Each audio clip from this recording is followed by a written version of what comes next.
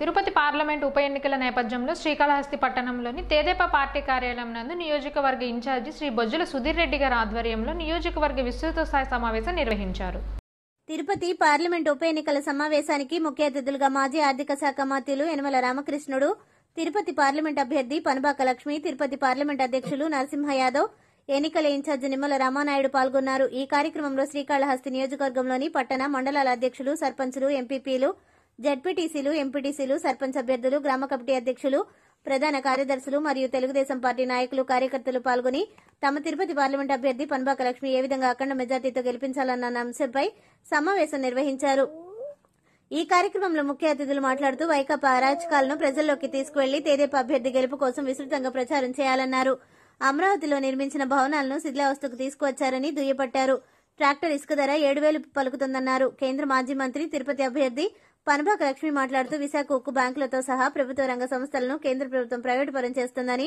ఇలాంటి బీజేపీ ప్రభుత్వానికి మరియు రాష్ట్రంలోని ప్రభుత్వ సంస్థలను పరిశ్రమలను ప్రైవేటీకరణ చేస్తున్నా పట్టించుకుని రాష్ట్ర ప్రభుత్వానికి బుద్ధి చెప్పే విధంగా ప్రజలు ఈ ఉప ఎన్నికలలో తమకు ఓటు వేసి అఖండ మెజార్టీ చేకూర్చే విధంగా కృషి చేయాలని ఆమె ప్రజలకు పిలుపునిచ్చారు. అందుకే ఈ రోజున ఓడిపోయి పోరాటంలో ఉన్నాము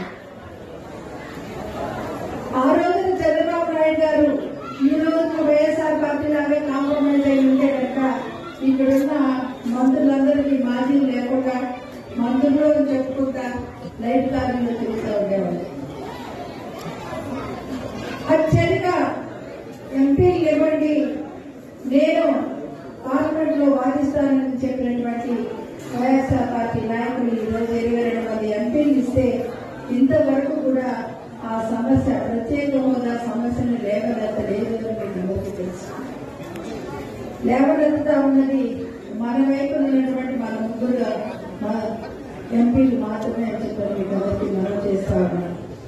మళ్ళీ మీరు ఓటేస్తే ఏ సమస్యల గురించి మీరు మాట్లాడతారు బాబు అని చెప్పారు ఒకసారి ప్రత్యేక హోదా గురించి మాట్లాడతారా?